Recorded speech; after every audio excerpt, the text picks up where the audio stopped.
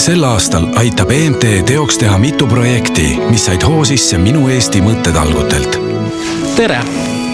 minu nimi on Mati, ma olen MTÜ Isata laste heaks eestvedaja. MTÜ-l Isata laste heaks on plaanis koolitada tugiisikuid, kes võiksid kohtuda isata kasvavate lastega ja olla neile eeskujuks. samuti tahame pakkuda võimalust aktiivseks ühistegevuseks täiskasvanuga.